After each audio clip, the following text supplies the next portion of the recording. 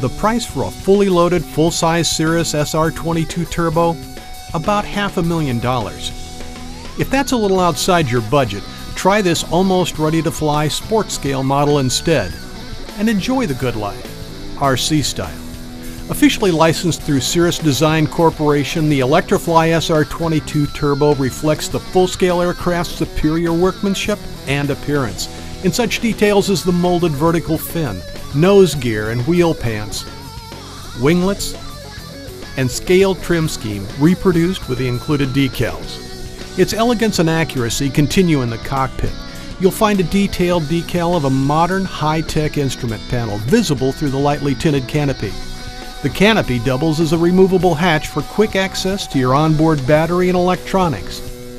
Now, due to its low weight, the SR-22 performs loops, rolls, Cuban 8s, and other sport aerobatics with ease, using economical brushless components, such as ElectriFly's Rimfire Point 10 Outrunner motor and 35 amp Silver Series ESC.